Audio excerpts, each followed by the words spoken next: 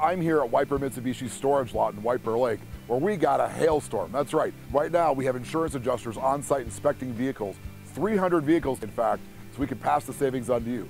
I don't know what could be a better deal unless it's a brand new Mitsubishi with light hail dents that you can barely see, but savings that are huge. You can save 4,000, 5,000, 6,000, up to eight.